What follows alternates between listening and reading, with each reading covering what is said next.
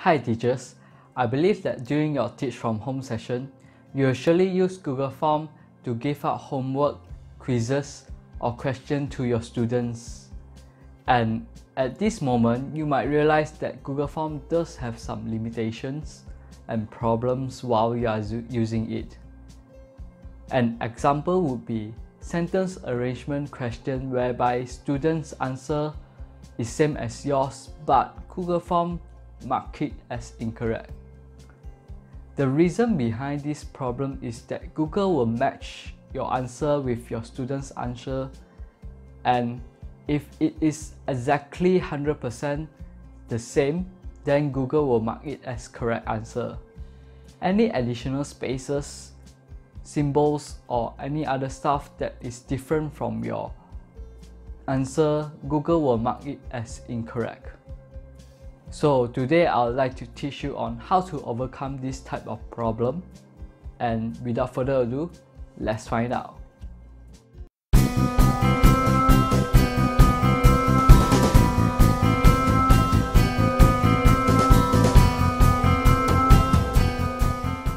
Just go to your Google Drive or Google Classroom to set up a new quiz. So let me select Google Form to create the new quiz. I'll rename the form as test quiz and then proceed to set it up as usual. So I just make this a quiz and I'll start to set a sample question on sentence arrangement. For example, I I have a pet fish.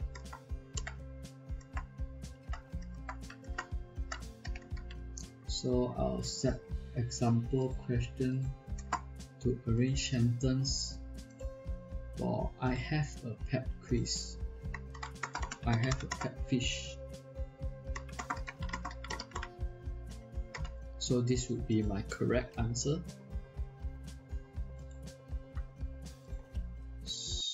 So next, I'll introduce you a way to validate students' input before it is submitted to you. So you just press on the three dots and press response validation. Click on the number and select regular expression and then use matches. So this regular expressions is um, or what they call regex helps you to validate the submission before it is submitted to you. So they'll check for the pattern of uh, students input in this Google form and if there's any error or if the pattern doesn't match, it will return an error without them able to submit this form. So what pattern should you input? You can go ahead to the description section below. I will put the pattern down there.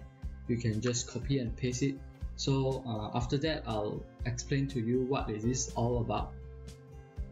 So for the custom error text, you can put a help text that helps students in checking why is their input having problem. So for example, I, I, I could write up that please put a full stop and remove any additional spacing okay so once it is complete you can test this out so for example if I put I have a pet fish without a full stop I will not be able to submit even though I press the submit button so your help file your help text would show below the question. So if I put a full stop, yes, then I can submit my answer. So if I put any additional spaces, it will return me error as well. So this helps to eliminate all the uh, incorrect input and further is your job as a teacher to check on their input on whether what happened to their input since they are inputting the correct word but with additional spaces that cause Google Form to mark it as incorrect answer. So another thing is that um, the first letter or the first alphabet must be a big cap in the pattern. So if I put a small capital, I will not be able to continue as well. So you can use this pattern in all your sentence arrangement question and coming up I would like to explain to you what is that pattern all about and you can go ahead to customize the pattern according to your need. So as you can see this is the pattern that you have inputted in your Google form. So I'll explain it one by one. The caret sign shows or signifies or represent the beginning of a string or the word. So for the beginning part, I'm emphasizing that uh, every every submitter should begin with a big cap or a capital letter. So you can see that the A to Z inside a bracket means that uh, all the possible outcomes should be inside the bracket. So submitter can input any words from any alphabets from A to Z for the first letter. So the curly bracket shows that uh, how many times it can be inputted. So in this case, they can only input one capital letter so from A to Z, only one capital letter in the beginning of a string or the sentence. So moving forward, I have a bracket with small letter A to Z and a star sign. So the small letter A to Z inside brackets means that uh, user or submitter or students can input any character, any alphabet, small letter alphabet continue with the capital letter just now. So they can put uh, capital letter capital letter um, H and following by A V E and so on. So the star signs means that this A to Z can be inputted zero times or more times more than one. So they can input uh, they can even stop inputting any letter after the capital letter just now. So for example, I have. So after I, it would be a space instead of any letter. So we need to use this star to make sure that it can be matched as zero instead of forcing user to match it at least one or more so following up we have a space. So means that uh, any letter or any words must come with a space. So the pattern will realize that oh this would be the first letter or first wording of the sentence. So the whole thing will be um, duplicated by one with the curly bracket one. Means that the first word or the first the first word in the sentence must according to this pattern. And following up I have big cap or capital letter A to Z together with a small cap or of alphabet A to Z and with a plus sign.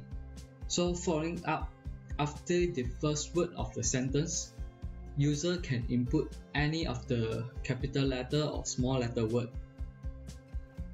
So they can put it as a fish or I have.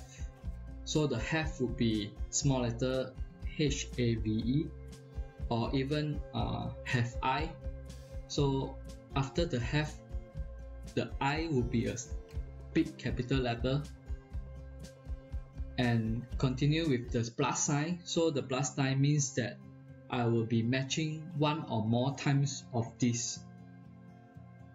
So continue with the space. So I would need to make sure that uh, every word comes with a space.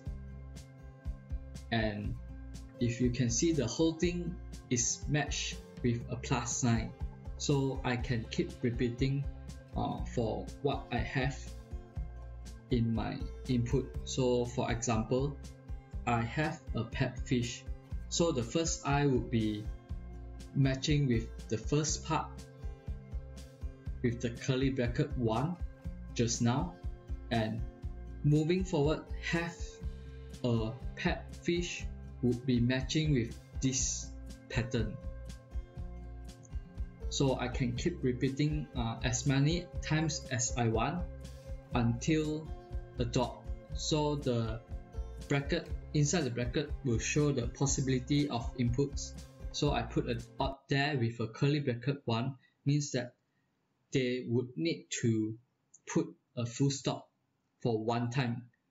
So if they put it multiple full stop they will be having problem in submitting and lastly the dollar sign means that indicates the end of string. So with this information you can characterize or amend it to suit your need. So let me know in the comment below if you have any question and I could try to help out. And don't forget to subscribe us in YouTube and we also have Facebook and Instagram to show you more tips and tricks on using Google Workspace. Thank you and see you again.